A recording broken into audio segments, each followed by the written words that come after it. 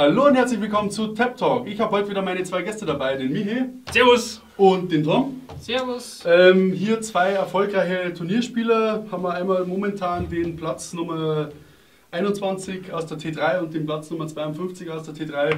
In der Mitte sitzt die 220. Äh, das ist nicht nur mein Gewicht. Und heute, und heute haben wir ein ganz tolles Thema im Tap Talk. Und zwar, ähm, welche Spielertypen gibt es? Was ist der Unterschied zwischen einem Turnierspieler und einem Casual-Spieler, nennen wir es jetzt mal? Und darüber wollen wir heute diskutieren. Ähm, da das Thema mehr oder weniger ein bisschen auch von dir angestoßen wurde, darfst du gerne mal Einleitung bringen. Was, wie willst du starten? Äh, ja, was ist grundsätzlich, es gibt ja so, es gibt ja den Turnierspieler, Mhm. es wird ja oft von dem Turnierspieler geredet. Mhm. Ähm, ich wollte ein bisschen so drüber reden und das, ich finde, also den Turnierspieler gibt es eigentlich nicht, Ja, finde ich. Na, Ähm, Und ähm, wie wird man, wenn man in die, Kla in die Kategorie Casual-Spieler passt, Mhm. ähm, also nicht Turnierspieler ist, mhm. man will vielleicht ein Turnier spielen, wie werde ich denn zu einem Turnierspieler? Okay, Oder ja. muss ich das überhaupt werden und vielleicht bin ich es ja schon. Mhm. Ähm, ich glaube mal, was viele Leute hauptsächlich zu dem Turnierspieler sagen, die meinen wahrscheinlich eher den, wie man es nennt, den Power Gamer, oder? Ich denke, Äh, Michi, jetzt sag mal, was ist ein Power Gamer? Du kennst dich damit aus. ja, da kenne ich mich gut mit aus. Ein Powergamer ist im Prinzip einer, der nimmt sich ein unheimlich starkes Konzept und damit versucht er ein Turnier zu rocken. Mhm. Also es ist jetzt nicht so, dass man ein Fluff-Spiel macht, für alle, die jetzt Fluff nicht kennen, aber normalerweise wisst ihr das, Fluff ist quasi so die Hintergrundstory und es gibt halt auch die Fluff-Spieler, gerade so diese Bier- und Brezelspieler, die zu Hause spielen, das ist schon wieder ein Spielertyp auch.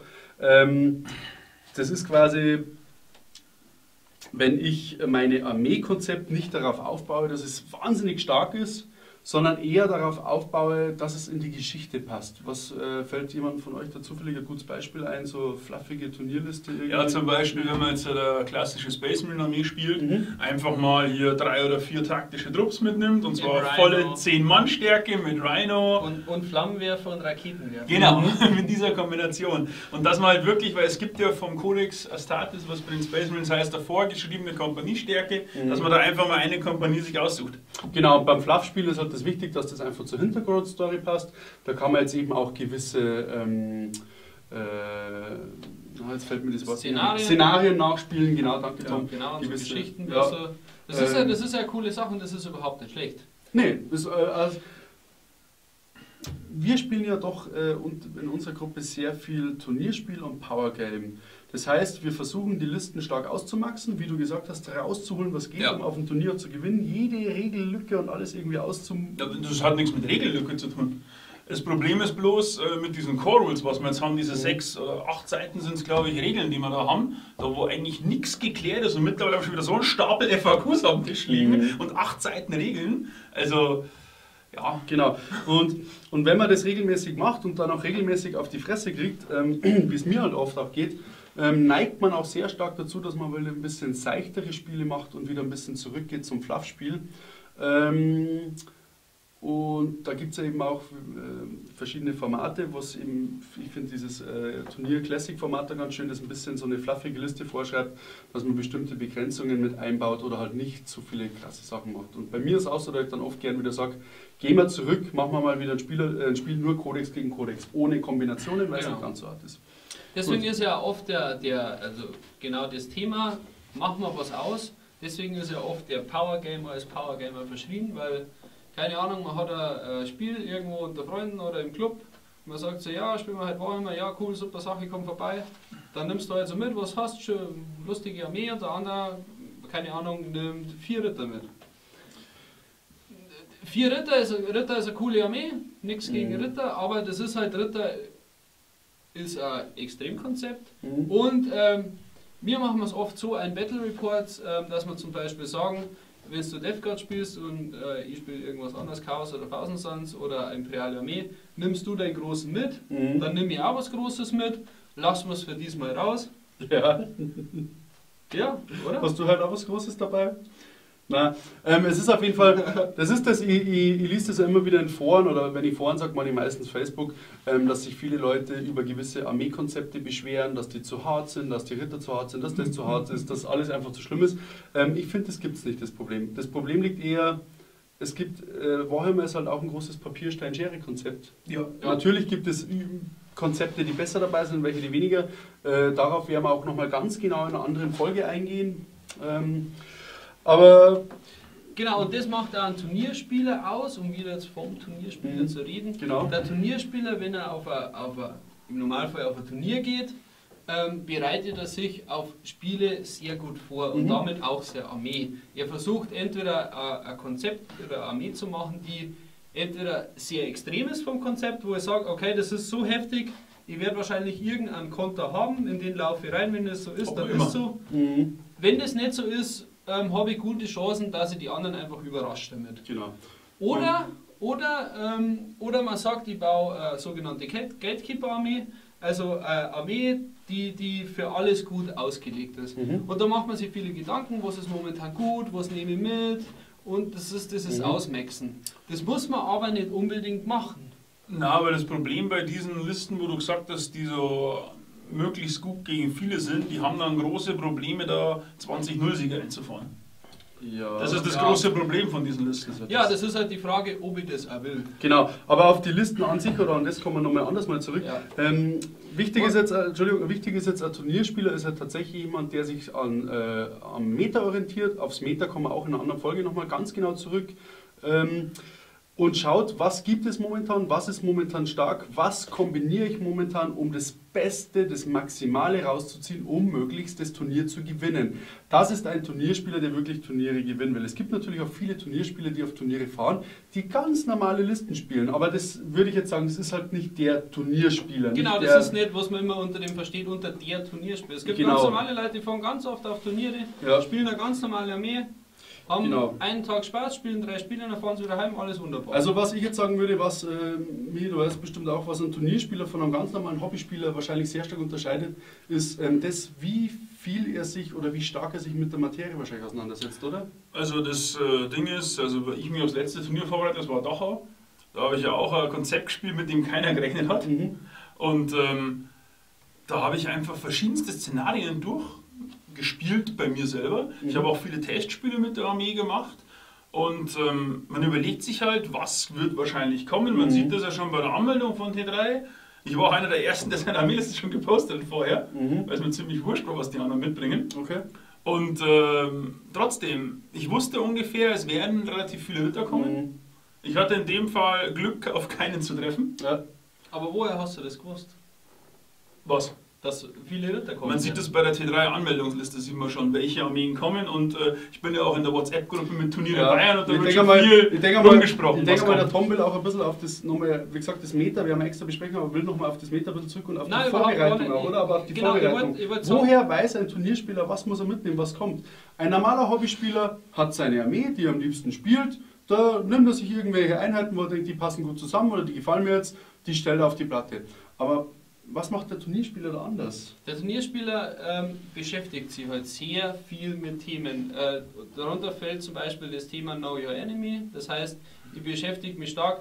Der muss ja gar nicht jede Armee äh, spielen, die es gibt, aber Also kenne deinen Gegner. genau, Auch für kenn, die- kenne deinen Gegner. Jungen nicht Das heißt, ähm, er beschäftigt sich auch mit, mit anderen Kodexe, liest durch, was können die so, macht vielleicht auch gezielt äh, Testspiele, dass er sagt, hey, ähm, spiel du mal Tyranniden, das würde ich gerne sehen, ähm, was das so macht, das Tyranniden. Mhm, mhm. Und dann schaut man eben, und ähm, es gibt ja viele Artikel im Internet, ähm, die wo viele in der englischsprachigen Welt, die haben da eine sehr, sehr gute, äh, sehr gute Community, die viel, viel dahingehend postet, vor allem ins kompetitive Spiel. Ja, die Amerikaner, die sind gut drin. Genau, die Amerikaner zum Beispiel, der Nick Nanavati, also der momentan Amerika-Chef oder Ranglisten-Erste, ähm, Mhm. hat einen eigenen, einen eigenen Kanal, wo er immer Sachen schreibt, auch Taktiktipps, Taktik, äh, Reviews und so weiter. Sehr gut. Also ich mag sowas gern, ich lese sowas auch gern viel, ähm,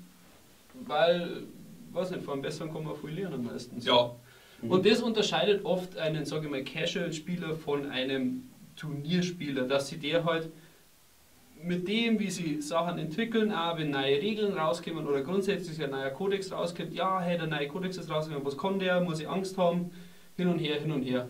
Und der macht sich da meistens viele Gedanken. Also Turnierspieler schaut sich nicht nur seine eigene Lieblingsarmee und seinen eigenen Kodex an, sondern er ist immer up to, date, up to date. Er weiß immer ganz genau, welche Regeln sind raus, was ist raus und am besten, wenn er ein guter, erfolgreicher Turnierspieler sein will, sollte er mehrere Armeen beherrschen, mehrere Konzepte beherrschen und sollte sich möglichst in allen Armeen auskennen.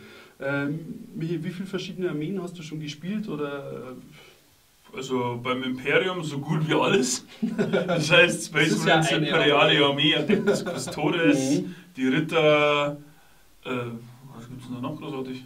Also schon ziemlich viel Das meiste vom Imperium. Ich bin irgendwie, ja, die, mit denen habe ich schon mal gespielt, aber die Metallfiguren waren früher zu teuer und jetzt gibt es keine. Äh, was, was, hat was hat ein normaler Death Guard Marine für einen Widerstand? Death Guard? Ja, Ja, normalerweise ein Fünfer. ja wie, wie weit bewegt sich ein normaler Elder-Typ? Ja, sieben normalerweise.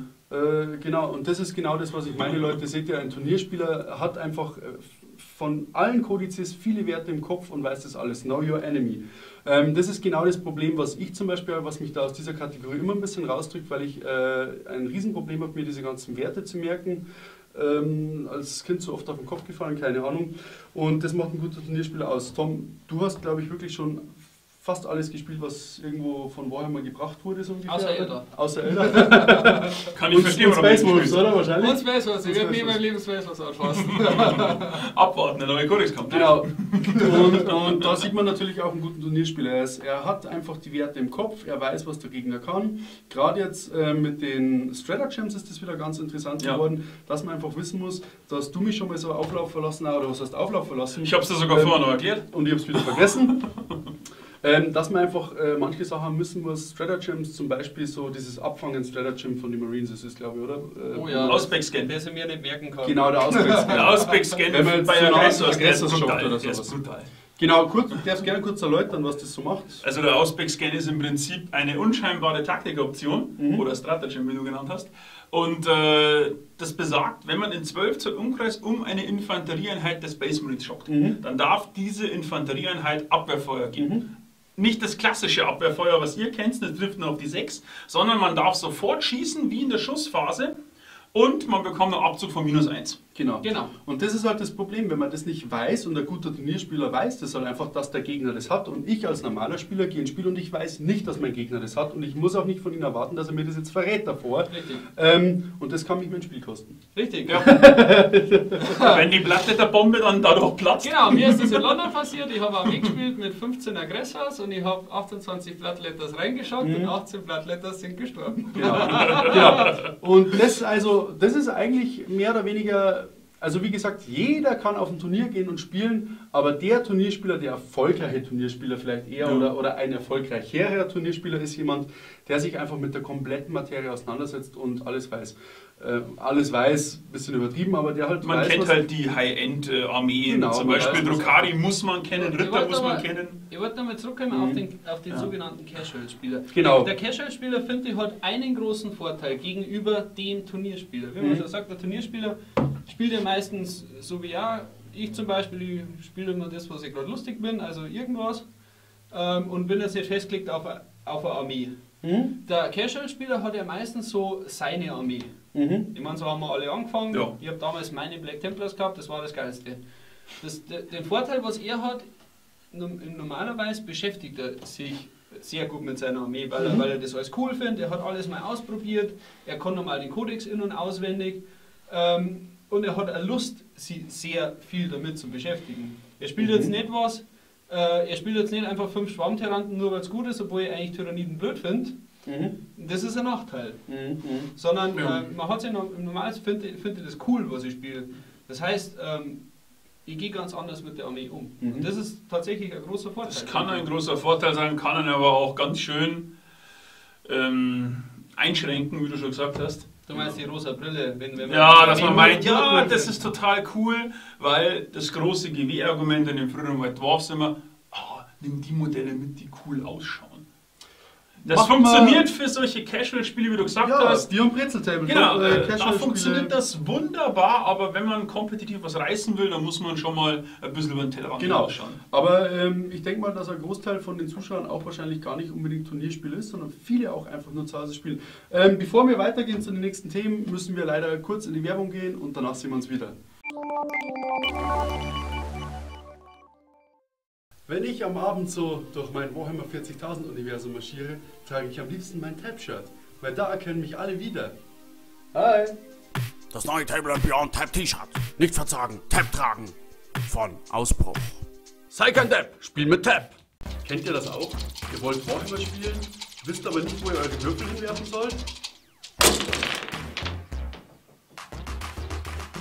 Dazu gibt es jetzt das neue Würfelbrett von Tab.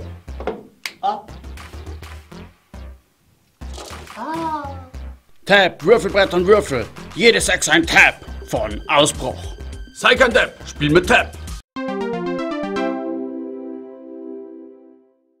So, wir sind wieder da. Ich hoffe, die Werbung hat euch gefallen. Ähm, wir haben jetzt schon groß besprochen, äh, wir haben uns jetzt erstmal stark beschränkt auf die Casual-Spieler und auf die Turnierspieler, die man jetzt aber nicht unbedingt immer nur verwechseln darf mit dem Powergamer. Und jetzt haben wir ja schon drei bis vier Begriffe. Wir haben gesagt Casual-Spieler, Turnierspieler, Powergamer, Bier und Brezel, Tabletop-Spieler. Ähm, mir dein letztes Wort war noch, ähm, man hat natürlich oft das auch als Problem als Casual-Spieler wirklich kompetitiv, ist natürlich Ja. schwierig. Aber jetzt gehen wir ja nicht mal unbedingt nur davon aus, wie man kompetitiv was reißen kann, sondern auch einfach zu Hause Spaß hat am Spiel und so weiter. Jetzt hat der Tom vorhin auch schon gesagt, man muss manchmal auch davor vielleicht ein bisschen absprechen, wie spielt man, wie groß spielt man, wie, wie hart spielt man, spielt man eher ein Flachspiel oder ein hartes Spiel. Und Jetzt will ich auch noch ein bisschen mehr abschweifen eben auf das Thema, welche verschiedene Spielertypen, Spielerarten gibt es. Dazu gibt es natürlich auch ein super Video von mir, das werde ich mal auf jeden Fall in die Videobeschreibung verlinken. 20 verschiedene Tabletop-Spieler, da wo ich das ein bisschen, wie sagt man, mit ein bisschen Humor und Eigenironie rangehe an die Sache. Und äh, jeder findet sich unter irgendjemanden von den Typen wieder. Absolut. Und ich selbst, Ja. ich selbst finde mich unter einigen von denen wieder.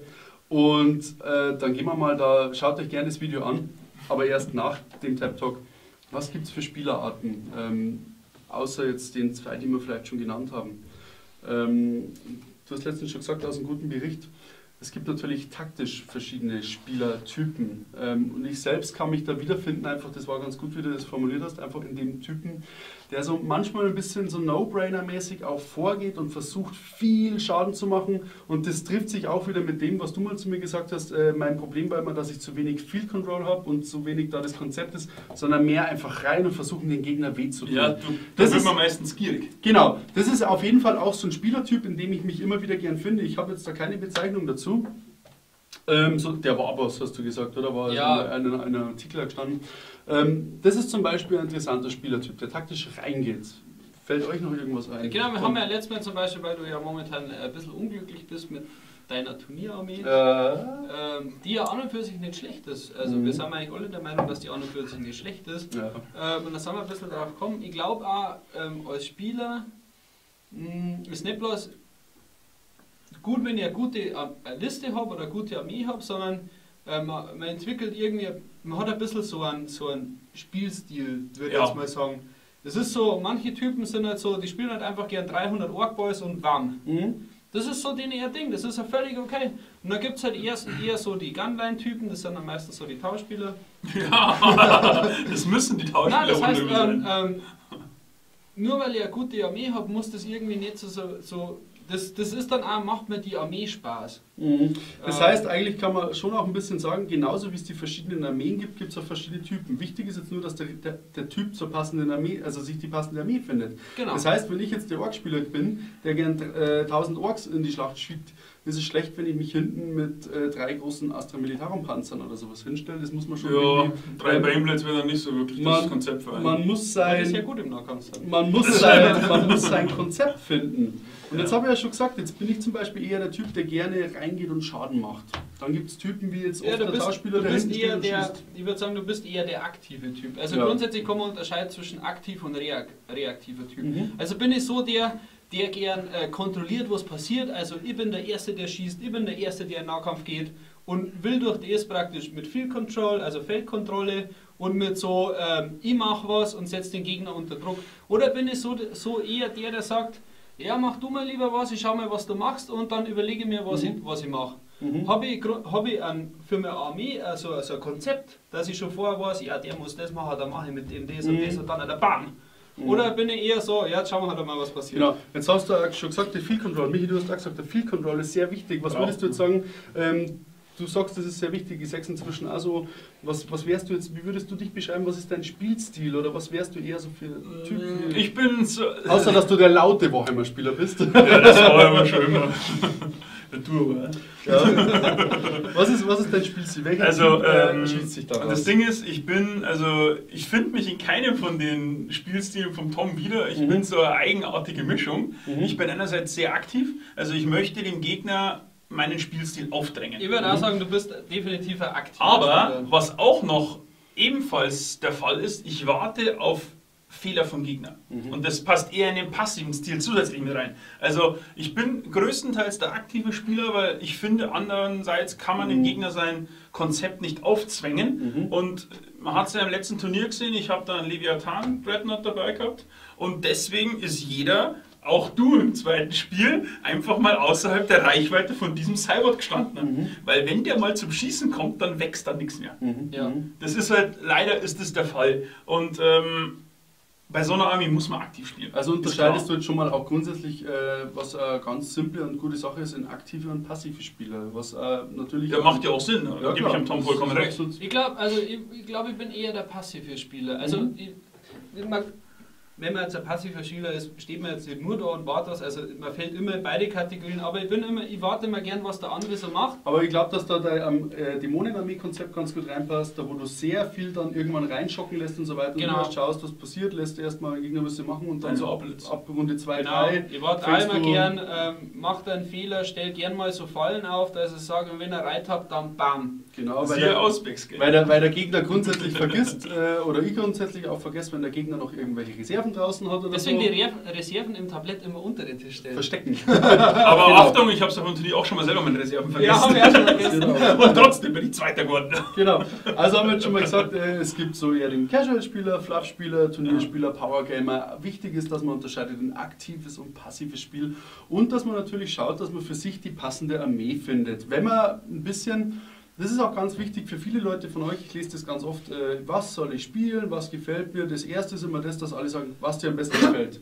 Ja. Da bin ich ein Freund davon, weil wenn Absolut. mir die Figuren nicht gefallen, dann kann ich sie Ja. nicht anmalen. Aber was für mich auch wichtig ist, ich muss jetzt erstmal mir überlegen, wie möchte ich gern spielen? Möchte ich gerne dastehen und richtig dicke schießen? Möchte ich gern wenige große Modelle spielen, wie jetzt zum Beispiel momentan die Imperial Knights sich anbieten würden? Ja. Oder möchte ich eher gern Massen von Miniaturen bewegen, das heißt viele Orks oder Tyranniden? Ähm, das sollte man auch mal für sich finden. Da schon mal, welcher Spielertyp Ja. bin ich, um Genau. die passende Armee zu, zu suchen für sich. Und dann kann man halt überlegen, wenn ich sage, ich bin so der Masse-Spielertyp, spiele ich jetzt lieber Tyranniden in Masse, spiele ich jetzt lieber ähm, Orks in Masse? Dämonen geht auch sehr gut in Masse, weil die Dämonen Dämonen. total billig sind. Astra Militarum kann man auch Ja. in Masse spielen und so weiter. Und dann muss ich halt, gucke ich als nächstes, welche Modelle gefallen mir vielleicht am besten. Ja. So kann man dabei rangehen. Genau, was, was gibt es jetzt noch vielleicht für Typen? Ähm, was mir auffällt, gerade auch auf Turnieren oder auch wenn man privat spielt, ähm, es gibt wirklich ähm, Hobbyspieler, die viel Spaß beim Spiel haben, die sich auch unterhalten. Und ich habe auch schon Spieler kennengelernt, ähm, die sobald man kommt, trifft sich, sagt Hallo, jetzt geht's los und dann sind die wusch, dann ist der Fokus da. Dann kann man den ganzen Abend mit denen kein Wort mehr reden, dann Ja. sind die im Spiel. Das ist ja schön und gut, das ist vielleicht manchmal unpassend, wenn ich so einen Hobbyabend mache. Ja. Aber genau, also es gibt da auch verschiedene Spieler, eben die Socializing-Spieler, die das Spiel zum Spaß und zu Gaudi machen. Es So- gibt ja die, die dann einen Haufen Scheiß erzählen, damit der andere vergisst, was er machen wollte. ja, genau. Zum Beispiel er da hinten. und dann, genau, und dann, Hey, hast also, übrigens einen Hund, wie heißt der? ja, und das ist, das ist finde ich, immer ganz wichtig, dass man auch gerade als Turnierspieler das nie vergisst, dass man sich doch auch manchmal, also man trifft sich auch manchmal wirklich zum Üben und zum Ja. Trainieren, ähm, was ich jetzt auch mal öfter machen müsste, aber man trifft sich ja auch, um Spaß zu haben. Klar, wir werden auch noch Genau. üben, das habe ich da versprochen, dass Genau. wir das machen werden. Und deswegen, äh, da sehe ich auch wieder zwei verschiedene Typen. Also so äh, wirklich einer, der so total seinen Film fährt und im Spiel ist und einer, mit dem auch noch ein bisschen was ja, anfangen kann, ein bisschen sich unterhalten.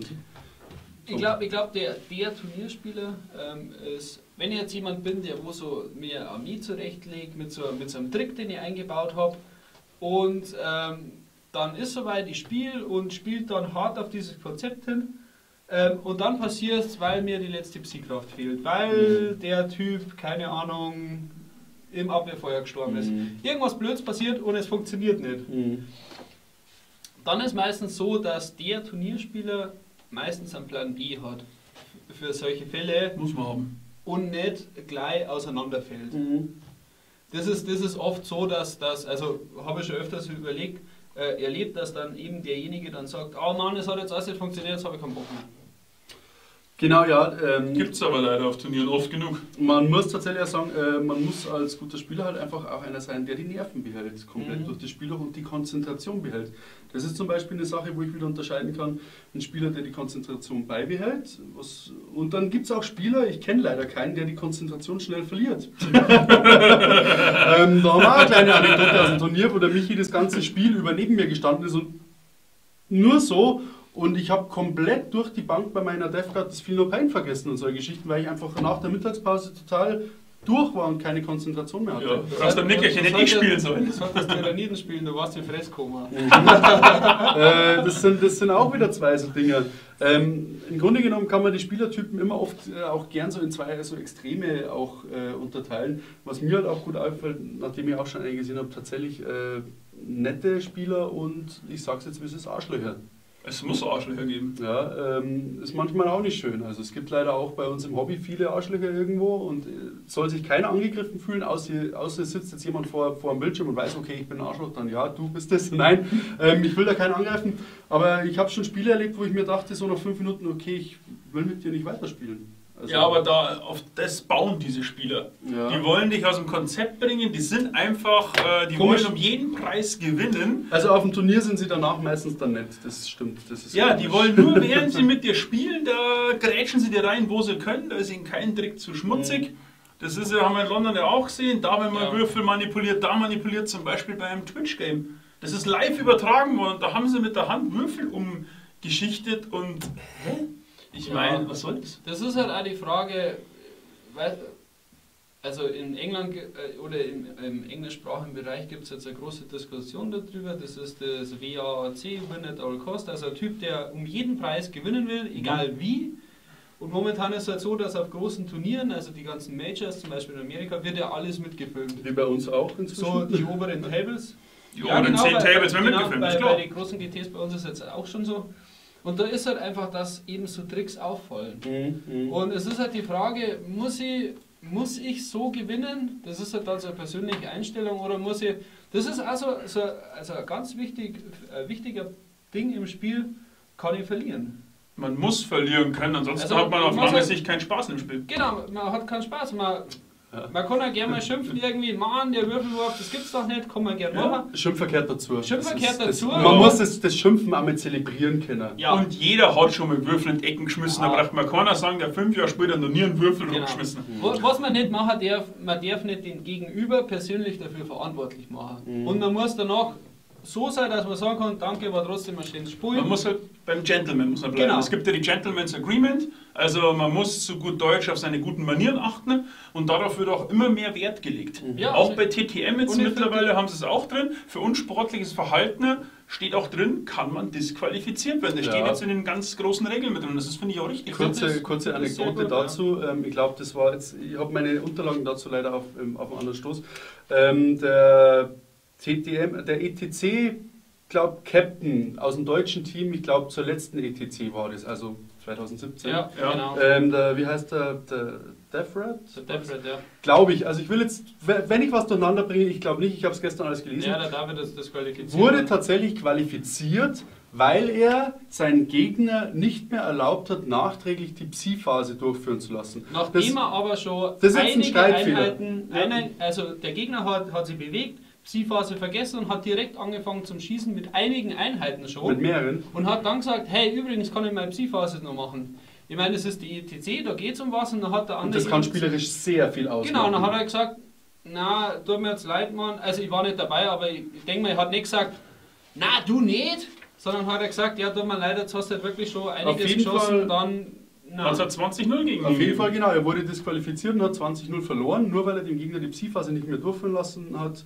Ähm, Es ging auch nur um einen Spruch. ja, genau. Und äh, es ist aber trotzdem, das kann man als unsportlich werten. Äh, in einem Hobbyspiel lässt man sowas fast immer irgendwo durchgehen, aber wenn es wirklich um was geht, macht Oder in es unserem. Battle Im, Report. Im Genau. Turnier aber meistens auch. Also ganz Also, oft am Turnier ist Wenn was, man nur hey, droh denkt, ja, also. genau, hey, ich genau. hab das vergessen, ich wollte das machen. Äh, sag mal so, erlaubst du mir das? Die meisten sagen dann, ja, ist okay. Dann habe ich einmal was gut genau, bei dir. sowas Oder, oder man sagt, hey, komm auf 4 plus. Je nachdem, Zum wie, Beispiel habe ich je nachdem wie, wie hart es halt ins, Ja. ins Spiel noch eingreift. Okay, Leute, leider muss ich jetzt unterbrechen. Wir sind Ah. somit durch. Äh, Wir haben ein paar Turnierspieler durch. ähm, Eben, ich sag mal im Großen Unterteiler Casual und Turnierspieler so ein bisschen von der Vorbereitung.